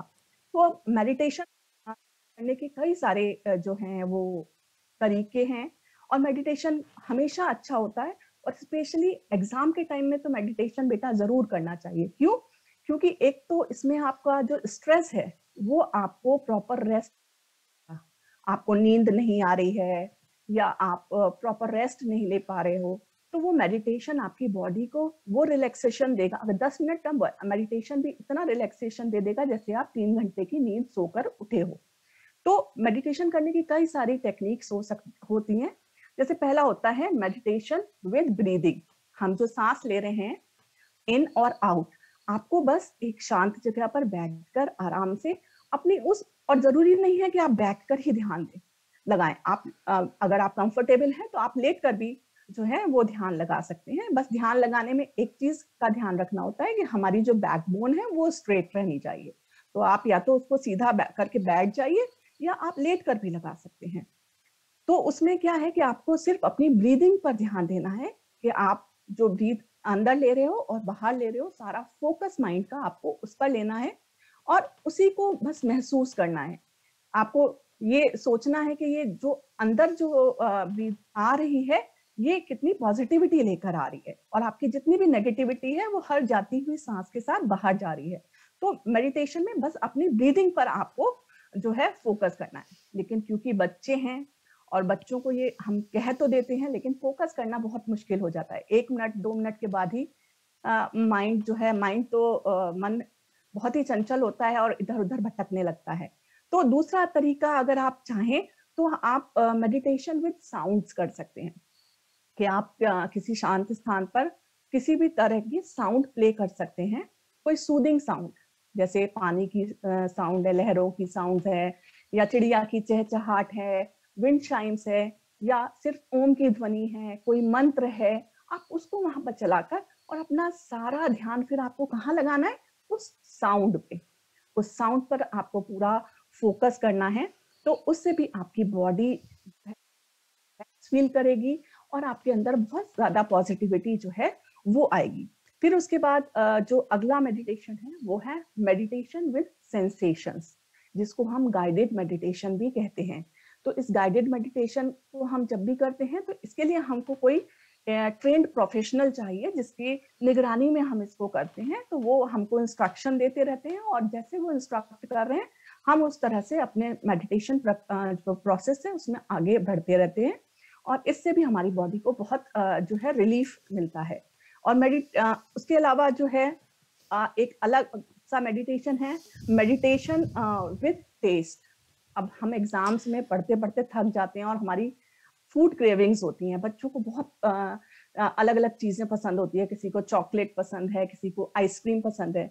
तो अगर आप ब्रीदिंग पे नहीं फोकस कर पा रहे हैं, आप जो है गाइडेड मेडिटेशन को फॉलो नहीं कर पा रहे हैं, आप साउंड पे फोकस नहीं कर पा रहे हैं बच्चों तो आप अपनी फेवरेट डिश को लीजिए। आप अपनी फेवरेट उस चीज़ को लीजिए जो आपको बहुत पसंद है। वो चॉकलेट हो सकती है, वो आइसक्रीम हो सकती है, या कोई भी डिश जो आपको बहुत पसंद है। फिर उसके एक एक बाइट को आप जो है रेलिश करिए। आप उसी में अपना ध्यान लगाइए, उसके टेस्ट में, उसमें खो जाइए, उस टेस्ट में। बस वो टेस्ट महसूस करिए और भूल जाइए आप कहाँ पे बैठे हैं, बस वो टेस्ट है और आप हैं। और देखिए वो टेस्ट कैसे आपके टंग से लेके पूरी बॉडी में वो जा रहा है और आपकी बॉडी को वो कितना संतुष्ट कर रहा है, वो टेस्ट वो जो क्रेविंग हो रही थी वो कैसे खत्म हो रही है। अगर आप उस खाने को भी उतनी ही शिद्दत से खाते हैं, उतना ध्यान लगा के उतना फोकस करके खाते हैं तो वो भी एक तरह का मेडिटेशन है। उसके बाद एक मेडिटेशन uh, होता है मेडिटेशन विद थॉट्स ये थोड़ा सा uh, जो है इसमें प्रैक्टिस की ज़रूरत पड़ती है। इसमें क्या करना होता है कि आपको सिर्फ़ बैठना है इसमें कुछ भी नहीं करना है। आप आँख बंद करके भी बैठे हैं तो बच्चों आप जानते हो कि आपके मन में ऐसा एक सेकंड एक फ्रैक्शन ऑफ़ सेकंड भी नहीं होता है कि जब हमारे मन में कोई विचार ना आए और हमारे मन की गति क्या है तो फ्रैक्शन और फ्रैक्शन ऑफ़ सेकंड में हज़ारों विचार आ सकते हैं हमारे मन में। तो यहाँ पर हमको क्या करना है कि हमको सिर्फ़ आँख बंद करके बैठना है या लेटना है और हमको उन विचारों का, को सिर्फ़ देखना है। जो हमारे मन में जो विचार आ रहे हैं, कहीं से उठ रहे हैं, कहीं जा रहे हैं, वो विचार आए जा रहे हैं, हमें उन विचार में इन्वॉल्व किसी भी थॉट को में इन्वॉल्व नहीं होना है। बस खाली उनको मन में चलते देना है। और जब हम प्रैक्टिस करते रहेंगे तो हम एक टाइम पर एक ऐसी स्टेट में पहुँचेंगे जहाँ पर वो विचार जो है, वो हमारे मन में आना बंद हो जाएँगे और उसको हम मेडिटेटिव स्टेट कहते हैं। लेकिन उसके लिए बहुत ज़्यादा प्रैक्टिस की ज़रूरत होती है। तो इनमें से कोई सी भी मेडिटेशन टेक्निक जो आपको पसंद आई हो, या हम अपने गुरु होते हैं, हमको पता है हमको क्या पसंद है, हम अपने लिए अपनी कोई मेडिटेटिव टेक्निक कोई ऐसी चीज़ जिसमें हम सिर्फ़ प्रेजेंट में रहें और अपनी सारी चिंताएँ भूल जाएँ, हमको वो हम अपने लिए डिस्कवर भी कर सकते हैं। बस इम्पोर्टेंट क्या है कि हमको हर दिन जो है मिनिमम टेन मिनट्स का मेडिटेट मेडिटेशन करना है। दिन में पढ़ाई के सोने से पहले ज़रूर करना है, क्योंकि मेडिटेशन करके अगर आप सोते हैं तो आपको नींद बहुत गहरी आती है। जब जब एग्जामिनेशन हॉल में जाते हैं तो एंटर करते हैं तो सबसे ज़्यादा घबराहट कब होती है? जब इन्विजिलेटर क्वेश्चन पेपर डिस्ट्रीब्यूट कर रहा होता है। तो उस टाइम दिल की धड़कन सबसे ज़्यादा बढ़ी हुई होती है। तो उस टाइम पे भी आप अपनी ब्रीदिंग पे फोकस करिए। आप जो है थोड़ा सा जो है डीप ब्रीदिंग लीजिए। तो वो जो घबराहट है, उस पर आप कंट्रोल कर पाएँगे। क्यों? क्योंकि जैसे ही आप डीप ब्रीदिंग ले रहे हैं, आपकी बॉडी तुरंत, आपका माइंड जो है बॉडी को सिग्नल भेज रहा है। कि कुछ भी नहीं है, कोई स्ट्रेस नहीं है हैप्पी हार्मोन्स को रिलीज़ कर दो। वो हैप्पी हार्मोन्स जब आपकी बॉडी में आ रहे हैं तो आप उसी तरह से अपना बेस्ट जो है वो परफॉर्म कर सकते हो।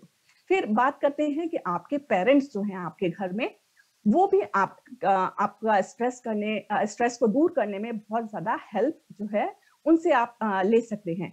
आज हम जानते हैं आज का दौर बच्चों ऐसा है कि आपके पेरेंट्स भी, हो सकता है कि दोनों पेरेंट्स ही वर्किंग है। तो सबसे ज़्यादा इम्पोर्टेंट क्या है कि जब भी आपको अपने पेरेंट्स के साथ टाइम मिल रहा है, आप अपने पेरेंट्स के साथ एक क्वालिटी टाइम जो है उसको स्पेंड करिए। आपकी जो भी प्रॉब्लम्स हैं, आप अपनी प्रॉब्लम्स को उनके साथ शेयर करिए। क्योंकि जब हम शेयर करते हैं चीज़ों को तो हमें उसका सॉल्यूशन भी जो है वो मिलता है। और पेरेंट्स के लिए भी यही सलाह है कि बच्चों का प्रॉपर जैसे अभी मैम ने भी बताया था कि प्रॉपर न्यूट्रिशन उसकी बहुत ज़्यादा ज़रूरत होती है एग्ज़ाम्स के टाइम पे भी और जब बच्चा पढ़ रहा है, तैयारी कर रहा है, तब भी। क्योंकि स्ट्रेस की वजह से डाइजेस्टिव सिस्टम को ये सिग्नल गया हुआ है कि जो कुछ भी आ रहा है उसको अच्छे से मत पचाओ, क्योंकि वो नेगेटिव हार्मोन्स हैं। तो खाना जो है बच्चों को लाइट दिया जाए और बच्चों को ये देखा जाए कि बच्चा प्रॉपर टाइम पे खा रहा है और पानी, हाइड्रेशन जैसे मैम ने कहा था तो हाइड्रेशन भी उतना ही इम्पोर्टेंट है जितना इम्पोर्टेंट उनके लिए खाना है। तो बच्चा प्रॉपर वाटर इनटेक कर रहा है, इसका भी हमको जो है बहुत ज़्यादा जो ध्यान है, वो रखने की ज़रूरत है। और हमारी तो संस्कृति में भी कहा गया है। हमारे यहाँ पे जब हम लोग एग्ज़ाम देने जाया करते थे तो हमारे घर में नानी हुआ, नानी और दादी हमेशा कहती थी कि आप अगर एग्ज़ाम देने जा रहे हैं या कोई भी अच्छा काम इंटरव्यू देने जा रहे हैं तो एक कल्चर हुआ करता था। पता नहीं आपके यहाँ पे वो बच्चों हैं या नहीं, कि दही पेड़ा खा के हमको कहा जाता था कि बाहर जाओ। तो वो दही पेड़ा क्यों? क्यों ये रहा होगा हमारे कल्चर में? क्योंकि सबको पता है कि एग्ज़ाम के टाइम पे, जिस दिन एग्ज़ाम है स्पेशली उस टाइम तो कुछ भी नहीं खाया जाता। तो अगर आप वो दही पेड़ा अगर आप खाकर निकल रहे हैं तो वो इंस्टेंट सोर्स ऑफ़ एनर्जी है आपकी बॉडी में ग्लूकोज लेवल जो है वो मेंटेन रहेगा। तो वो सब उसी के लिए है कि खान पान बहुत ज़्यादा ज़रूरी है। क्योंकि हमारी फ़िज़िकल बॉडी हमारी मेंटल बॉडी मेंटल उससे इशू से जुड़ी हुई है तो हमें फ़िज़िकल बॉडी को ध्यान का ध्यान रखने के लिए उसमें प्रॉपर जो है फ़ूड एंड न्यूट्रिशन उसको प्रोवाइड कराना ही होगा। फिर टाइम मैनेजमेंट आप देख रहे हैं कि आपके पेरेंट्स अगर वर्किंग हैं तो वो भी अपना टाइम मैनेज कर रहे हैं। तो आप उनसे भी सीख सकते हैं कि अपने टाइम को कैसे मैनेज करना है। आपको डेली टाइम टेबल बना सकते हैं आप। इवन आप जब एग्ज़ाम में आंसर जब लिख रहे हैं, जैसा मैम ने अभी बताया था, गीतिका मैम ने कि आप अपनी स्पीड को कंसिस्टेंट रखिए। मेरा ये भी मानना है कि आप टाइम को भी कंसिस्टेंट रखिए। अगर आपने कहा कि आप हर शॉर्ट आंसर जो क्वेश्चन है, उसको आप तीन मिनट में करोगे तो तीन मिनट में उसको वाइंड अप करो। तो उससे क्या होगा कि सारे आंसर्स की जो एक लेंथ है, वो कंसिस्टेंट रहेगी। अदरवाइज़ क्या होता है? पहले क्वेश्चन में आपने पाँच मिनट लगा दिए, दूसरे में आपने जो है दस मिनट लगा दिए और तीसरा जब करने बैठे तो टाइम ही नहीं है, आपने उसमें दो ही शब्द लिखा। तो उससे आपकी परफॉर्मेंस जो है वो इफ़ेक्ट होती है। तो time management during exam during preparation of exam ये टाइम मैनेजमेंट बहुत ज़रूरी टिप है और इसको आपको कैसे सीखना अपने टीचर से सीखिए अपने पेरेंट्स से सीखिए और आ, आपके पेरेंट्स के लिए भी यही है कि बच्चों का जो टाइम टेबल है उसमें ये भी देखा जाए कि सिर्फ़ बच्चा पढ़ेगा नहीं। बच्चा एक गो में सिर्फ़ 40 टू 45 मिनट्स वो पढ़े उसके बाद वो 10 मिनट का ब्रेक ले।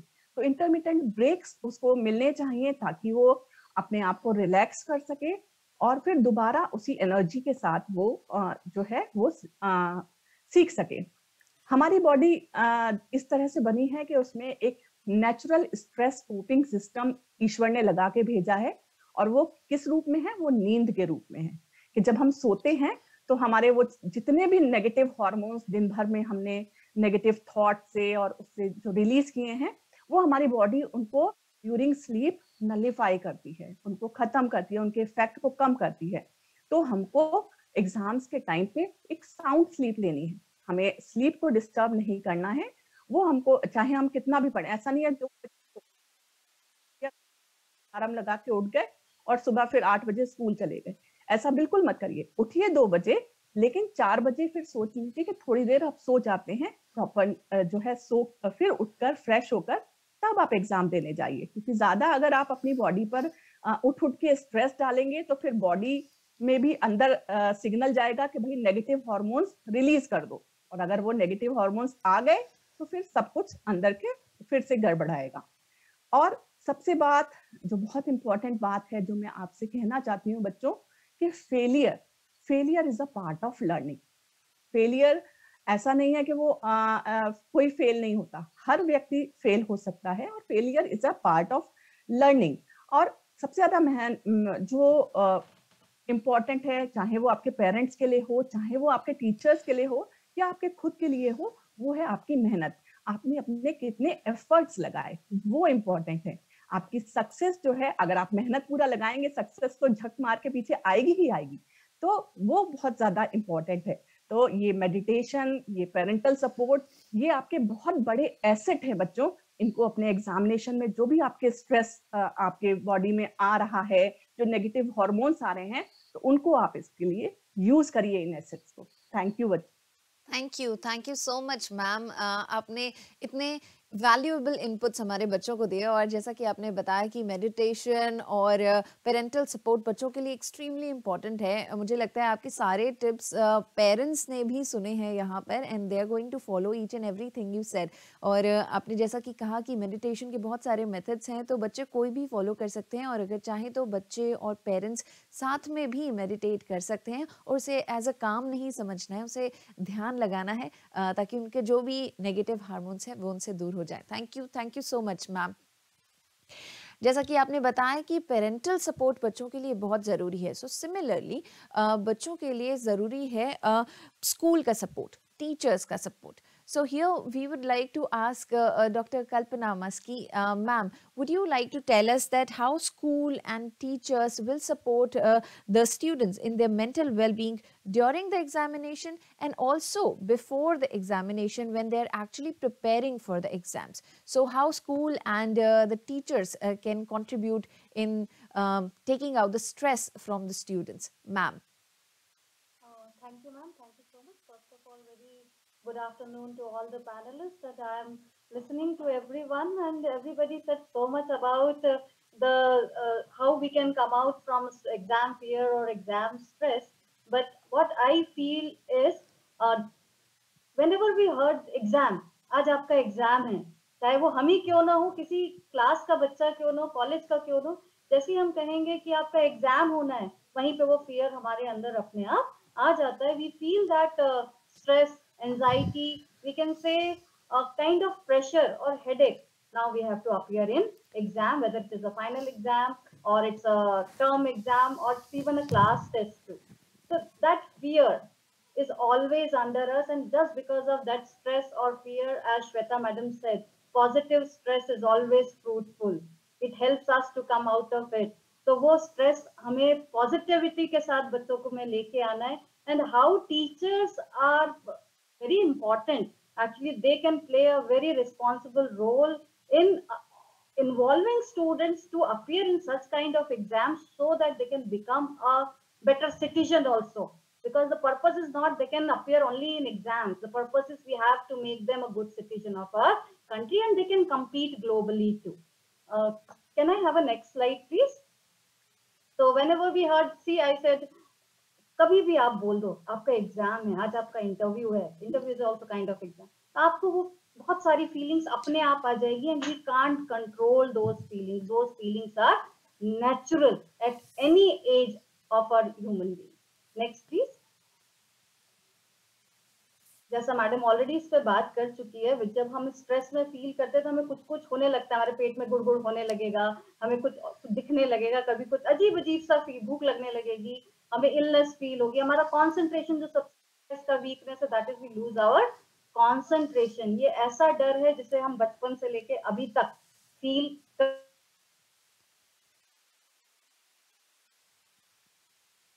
कर रहे हैं और आगे भी शायद करते ही रहेंगे। पर वाला अगर हमारे साथ हो तो हम इसको आगे से बहुत अच्छे से ले सकते हैं। नो no डाउट एक स्टूडेंट के आसपास उसकी फैमिली टीचर उसका स्कूल ये तीन ऐसे पैराम पिलर्स हैं जो उसको अपने अम्ब्रेला में आगे लेके जाते हैं और ये हमारी ज़िम्मेदारी है स्कूल की रिस्पॉन्सिबिलिटी है टीचर्स की अकाउंटेबिलिटी है फैमिली की तो है ही कि हम सब साथ मिल बच्चे को आगे लेके जाए कि ना वो नर्वस हो, ना उसको कोई प्रॉब्लम हो और वो अच्छे से कॉन्सेंट्रेट कर पाए, खुशी से अपियर हो पाए।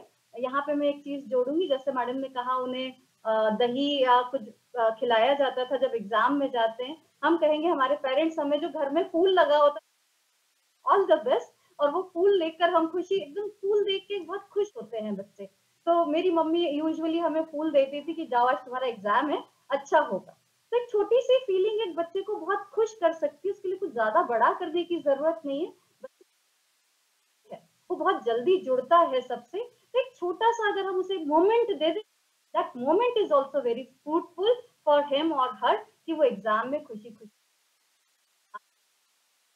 इसको हम कैसे एग्ज़ाम में लिख कर आए?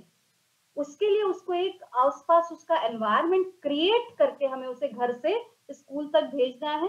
स्कूल को उसे उसके क्लासरूम तक भेजना है और क्लासरूम में जब वो बैठे एग्ज़ाम में तो उसकी मैडम को वहाँ ऐसा माहौल देना है कि बच्चा उसमें सब कुछ लिख सके। नेक्स्ट प्लीज़ तो अगर ये सब बच्चे में हो रहा है तो ऑब्वियस हमें पता है कि बच्चे का फिजियोलॉजिकल बिहेवियरल इमोशनल चेंजेस होते हैं। अगर वो स्ट्रेस में आ गया वो एक साथ हमें दिखने लगते हैं और हमें पता चलता है कि हमारा बच्चा आज कितना प्रिपेयर्ड है और प्रिपेयर्ड है, उसके बाद कितना टेंशन में है। अब हमें उसे कितना सपोर्ट करने की ज़रूरत है।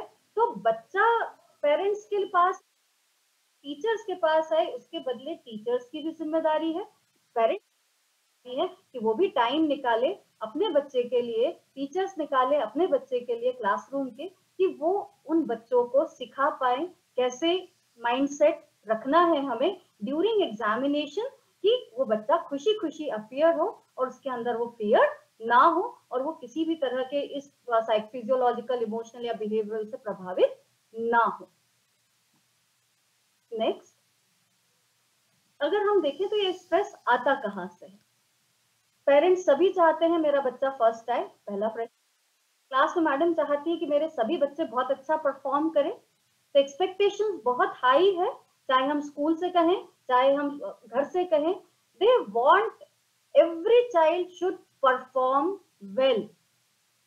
And that's a very high pressure and expectations from both sides तो उसको एक कॉम्पिटिटिव आना चाहिए। तो competitiveness competition is always positive if we ask them to take competition as positive because see in this world every person has their own space and they can have their own success there is no comparison of किसी का किसी से कोई comparison नहीं each one is having their own individual differences so we prepare them accordingly and prepare according to that because the purpose of teacher school as well as family is that we have to enhance all the three domains that is cognitive cognitive and psychomotor domain and uh, it's vidambana hi kahenge ki whatever the examination examination system we have today is we are assessing our students through the writing task only. Majority of the percentage of the students is assessed through writing task only. That's why we are focusing on how to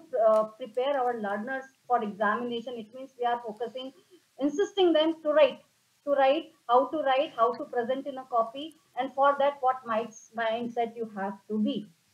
So that's how we have to uh, prepare them there is no comparison with others but we are comparing our uh, children with others that's why they are having stress fear of rejection because if I got 90%, I will be accepted by everyone. If I will got 35%, he or she will think nobody will accept me even in family or in school. Many news we read in the newspaper because of low percentage, he felt left out.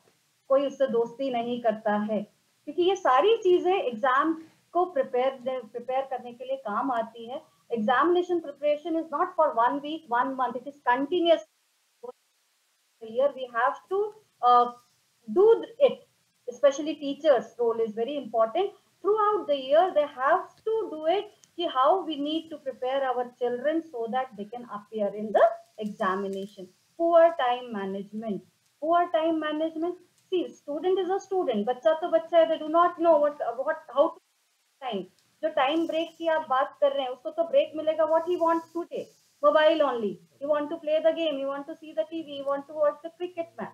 What he want? He just want to play that and he don't want to study. We have to pressurize him. Baitho, padho, padho, tomorrow exam.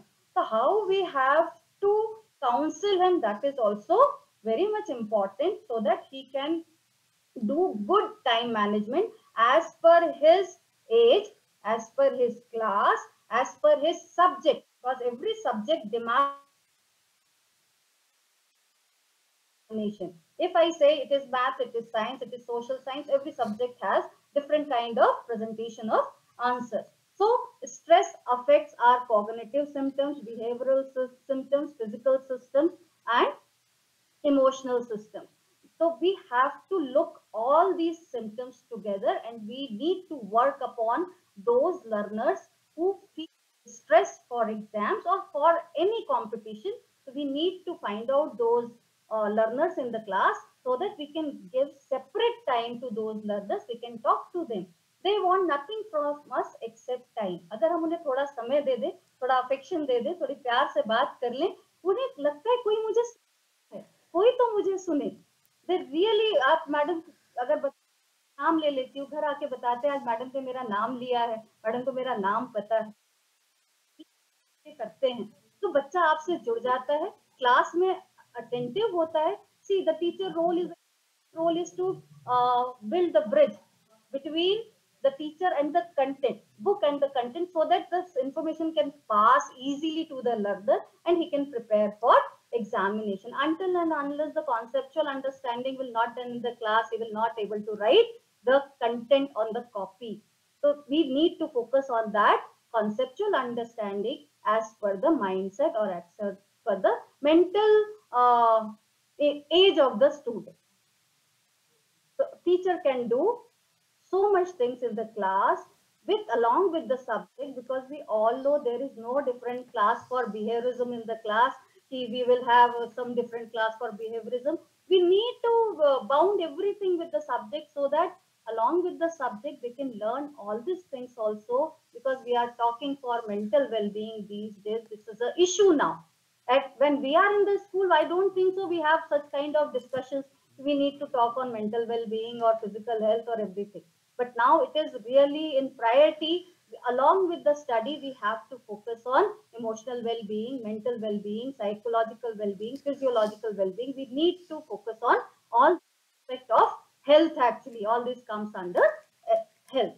Now when students is involved in all the things फिर वो सोचता है मुझे याद क्यों नहीं रहता मैं इतना जल्दी क्यों the reason behind is that because is having lot of exposure he is not focused like this he is having this much of screen in front of him he want everything from this ये भी कर लेता हूँ ये भी चाहिए ये भी चाहिए मुझे यहाँ भी जाना है and at our time this much exposure was not there we are just studying and studying now the screen is different for him or her So there is no plan, there is no plan. They are doing at their own level whatever they are, uh, जो उन्हें समझ में आता है वैसा वो पढ़ लेते हैं और करते हैं.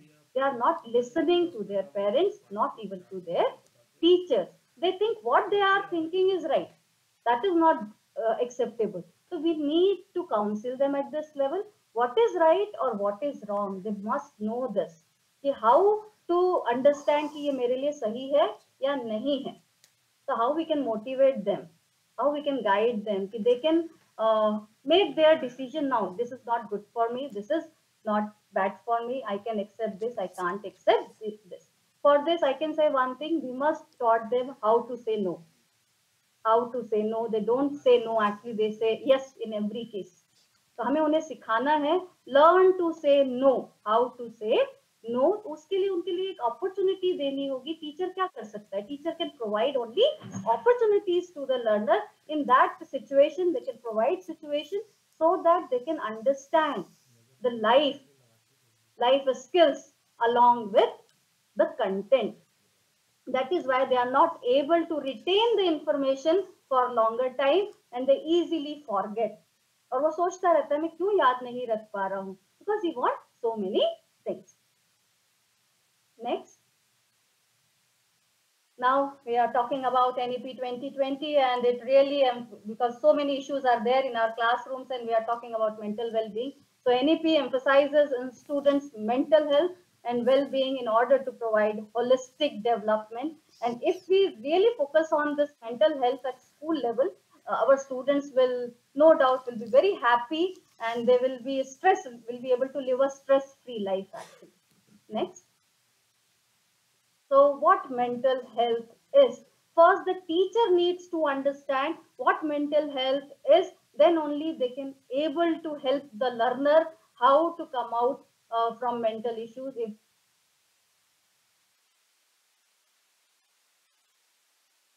all students are facing like stress anxiety कैसे सोचते हैं टीचर जब तक उसको सोच देखेगी नहीं समझेगी नहीं तब तक वो बच्चे को बात भी नहीं कर पाएगी if we are getting irritated then no doubt students will also behave the same.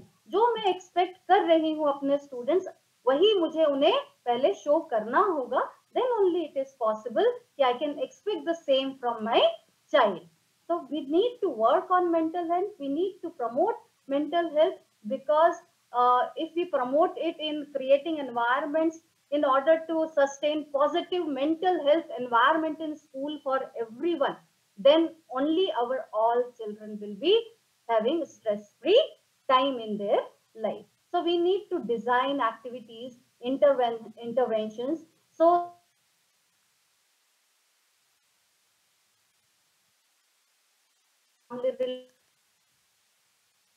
Okay. Uh, Kalpana ma'am, uh, we get your point. And uh, like you said that we need to promote mental health especially schools and teachers. They have uh, this uh, very difficult task uh, to promote mental health. And i'm sure all the schools all the teachers and uh, parents together they are working on the children's physical and mental health so that uh, children can prepare and uh, they have time and they stay hydrated they eat well they sleep well and uh, they score uh, good marks in the examinations. Well that is the main focus of the examination that they have to be healthy and they have to score good but along with keeping their physical and mental health in mind. Thank you so much to all the panel members for being with us and for making this entire interaction so lovely and so lively. And uh, all the students, I'm sure they enjoyed uh, this conversation and the explanations you gave were excellent and so worthwhile that uh, the students are definitely going to watch this program again and again. Thank you so much, uh, panel members, for being with us, for giving us your time. Thank you, ma'am. Thank you. Thank you. Thank you. Thank you to all the viewers as well for uh, being with us throughout the program. It was a lovely conversation on physical and mental health uh, significance for examinations. So if in case you have not watched this program for any reason, you can watch it anytime you want on NCERT official. That is our YouTube channel. It's going to be there um, for a long time so you can watch it anytime as per your convenience. So we are wrapping up this particular program but uh, next Friday same platform which is NCERT official and uh, even their channels we'll come back again on another topic and uh, of course that will also be for the psychosocial support of the students, teachers and parents. With that, we're wrapping up. But before that, uh, let me please tell you one more uh, time about the India's G20 presidency. We are extremely proud that India assumed G20 presidency and will convene the G20 Leaders Summit for the first time in the country this year. A nation deeply committed to democracy and multilateralism, India's G20 presidency would be a watershed moment in her history as it seeks to play an important role by finding pragmatic global solutions for the well-being of all, and in doing so manifest its true spirit for Vasudhaiva Kutumbakam, or should I say, the world as one family. I am Tanvi Khurana. I'll take a leave of you. All the very best to all the students for their examination. Thank you. Namaskar.